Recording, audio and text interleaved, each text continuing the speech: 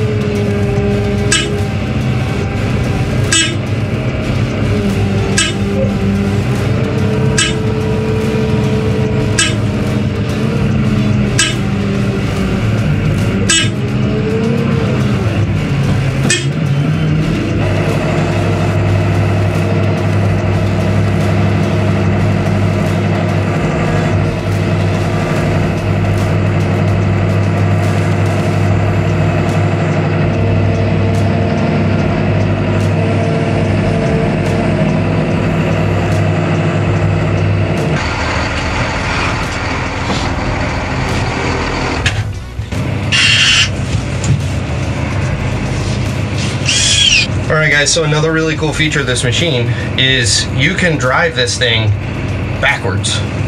Let me make sure this is gonna work the way I want it to. There we go.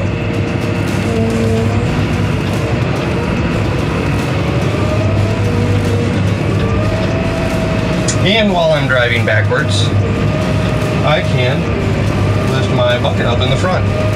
Just by pushing this little red button, I switch controls and while we're driving, we can absolutely use the backhoe.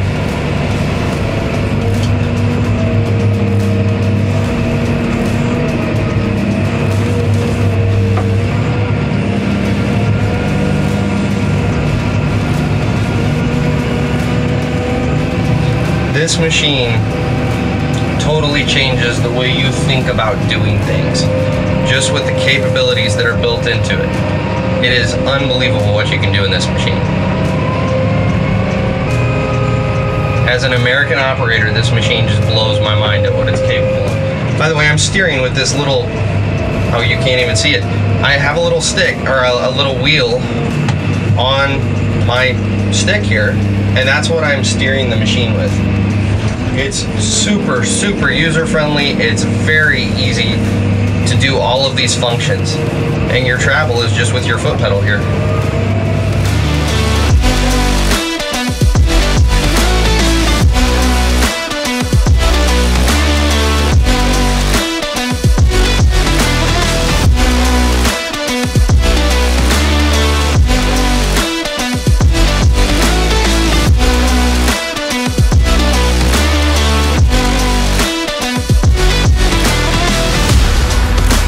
I mean, there it is. This thing is unbelievable. So I'm gonna be totally honest with you guys. With everything that's going on hydraulically with this machine, I thought for sure it was gonna be a dog. I just thought it was gonna be slow. It was not gonna have any power because you're just trying to split hydraulic oil too many ways. I can't tell you how wrong I was. This thing absolutely has power. It can do all of the functions at the same time without getting incredibly slow and sluggish. This thing is very responsive, but more than that even, it's smooth. It is so easy to operate.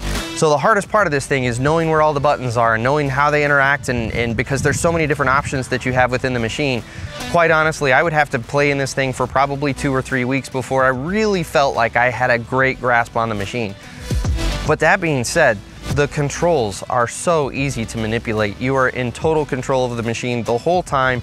Uh, not a lot of jerkiness and jitteriness in the machine. This is just I cannot praise this machine enough. It is an incredible machine. So thank you guys for watching. Stay tuned. Down the road, a couple months from now, uh, we are supposed to take delivery of one of these and get to play on it for a week or so uh, and really put it through its paces and do a full honest review of the machine. Today was literally us coming down here so that I could get trained how to run this thing. So thanks for watching and we'll catch you guys on the next Down and Dirty.